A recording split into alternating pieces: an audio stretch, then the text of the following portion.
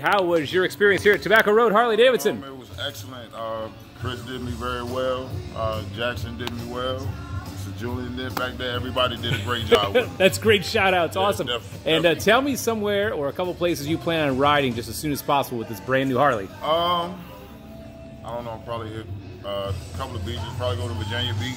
Probably go down to South Carolina. Put some miles on them. Definitely I love it. Some miles on 'em. I love it. Hey, well, make sure you keep coming by here often so we can see you and your beautiful Harley, okay? Definitely. Thank you. All right, take Tobacco care and Happy Thank New. Year. Thank you, bro. All right.